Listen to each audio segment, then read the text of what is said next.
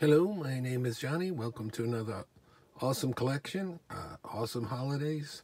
Uh, peeps, marshmallow peeps. We're going to take a look at them here in the package. If you'd like, please subscribe, hit that notification bell, like, apply, and share. This is uh, for uh, Christmas 2022. We've got the stockings, got the Christmas trees, have the snowman. And on the snowman, I was able to get uh, a larger package. And then we have uh, the basic size. I have a typical Christmas stocking here. You can see these can fit in there. The stocking stuffers, if you like. Sometimes I put them in there, and a lot of times I go to the extra trouble of uh, wrapping them up in Christmas paper so I have something else to to unwrap instead of just uh, having them taking them right out of the package. A little bit of fun. Always like that little crinkle noise. This one has a seems to have a little extra on it there compared to this one. Looks like they were real heavy on putting the coloration on this one. Marshmallow trees. So got three and then six.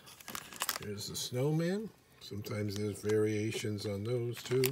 Another one where it's kind of heavier and lighter. And then this one's kind of very skimpy on the, the white line on the stockings. Stockings are newer, uh, last so many years. The trees and the snowmen go back many, many decades. They've been making them. Packages changed slightly over the years. Uh, looked at them, all of these are good until uh, sometime in 2024, I believe. Yeah, so they've got a, a long shelf life. so that's neat. I think that's the only ones I'm going to get this year.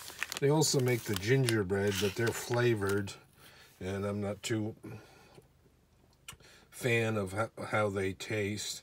And uh, other times I think they've done some other Christmas ones, but these are the basics. The stocking snowmen and uh, Christmas trees. Oh.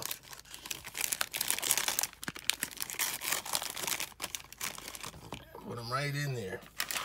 Until next time, more awesome holidays. Christmas 22. Merry Christmas, everyone.